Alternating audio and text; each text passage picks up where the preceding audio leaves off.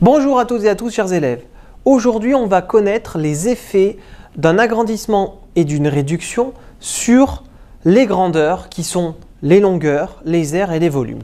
Tout d'abord, les longueurs. On l'a déjà travaillé dans l'année. Euh, les agrandissements, les réductions, on a parlé de proportionnalité. On multiplie par le même nombre toutes les longueurs. Donc, si on multiplie des longueurs par le même nombre, eh bien, on va euh, les longueurs vont grandir ou euh, diminuer. Quand est-ce qu'elles diminuent? Bah, Quand le coefficient euh, de multiplication, petit k, il est plus petit que 1. Quand on va multiplier les longueurs par exemple de ce rectangle par 0,5, eh bien le rectangle va devenir plus petit, on réduit le rectangle. Quand on a un cercle par exemple et qu'on multiplie par un nombre plus grand que 1, par exemple 2, eh bien le rayon lui, il est multiplié par 2. Et donc sur les longueurs, on a la relation de proportionnalité. En revanche, sur les aires, qu'est-ce qu'il va se passer? Eh bien, on va essayer de travailler là-dessus ensemble. Je vais essayer de vous expliquer de façon algébrique comment fonctionne euh, la réduction ou l'agrandissement. Prenons la réduction par exemple. J'ai l'aire initiale de mon rectangle qui est là, qui est égal à grand L fois petit l centimètres. Donc ça peut s'écrire euh, plutôt grand L centimètre fois petit l centimètre. Ça, c'est mon aire initiale. Je ne connais pas la valeur, ce n'est pas important. Maintenant, moi, je veux l'aire de mon rectangle réduit. L'aire de la réduction. Eh bien, l'aire de la réduction, ça va être la longueur en centimètres fois 0,5 puisque sa longueur, c'est 0,5 fois de l'autre rectangle. Je multiplie par la largeur, qui est aussi égale à la largeur du précédent, fois 0,5. Donc c'est petit l centimètre fois 0,5. Donc si maintenant je rassemble, puisque je n'ai que des multiplications, je vais avoir 0,5 fois 0,5 fois grand L centimètre fois petit l centimètre. Mais grand L centimètre fois petit l centimètre. Eh bien ça, c'est l'air initial. Et donc on va avoir 0,5 au carré fois l'air initial. Et donc ce que l'on peut déduire de, cette petite présentation-là, c'est qu'en fait, pour avoir l'air final quand on fait une réduction, eh bien on multiplie l'air initial par le coefficient de réduction, mais élevé au carré puisque les deux longueurs présentes dans l'air sont multipliées toutes les deux par ici 0,5 ben, et donc on multiplie l'air initial par 0,5 au carré pour avoir la, bonne valeur de l'air. Alors on l'avait déjà vu dans une précédente vidéo, hein, euh, ceci, mais je tenais à faire ce rappel-là sur l'air et notamment vous le faire aussi pour l'agrandissement. Je vais avoir l'air ici initial pour ce disque qui est là qui va être égal à pi fois rayon centimètre fois rayon centimètre, puisque c'est des centimètres. Alors pourquoi est-ce que je mets R centimètre, R centimètre? C'est parce que j'aime bien écrire l'unité euh, qui est représentée par R. Et donc, si je veux maintenant euh, l'air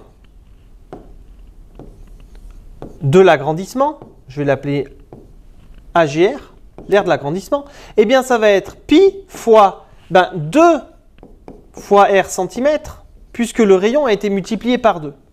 Mais le rayon qui est là est aussi multiplié par 2. Donc 2 fois R centimètres. Si vous préférez, je peux mettre des parenthèses. Elles n'ont pas d'intérêt ici algébrique, les parenthèses, puisqu'il n'y a pas de euh, souci de priorité de calcul. Alors qu'est-ce que ça va donner ça? Eh bien, je vais pouvoir tout, a que des multiplications, ben, je vais pouvoir écrire 2 fois 2 fois pi fois R centimètres fois R centimètres. Puisque dans les multiplications, on peut changer l'ordre des facteurs. Mais pi fois R centimètres fois R centimètres, qu'est-ce que c'est? Eh bien, c'est l'air initial. Et donc, qu'est-ce que je m'aperçois? Ben, Que j'ai 2 au carré fois l'air initial. Et donc, ce qui était vrai pour la réduction est aussi vrai pour l'agrandissement. Quand je multiplie des longueurs par un même nombre, petit k disons, eh bien l'air euh, initial, elle est multipliée par petit k au carré, c'est-à-dire ici 2 au carré, ça marche pour les réductions et les agrandissements. Voilà euh, comment est-ce que je peux m'occuper des aires. Maintenant, qu'est-ce qui va se passer pour les volumes? Eh bien, les volumes, c'est exactement la même chose. Alors, je vais tout enlever Et puis pour les volumes, on va partir sur une aire initiale d'un volume quelconque.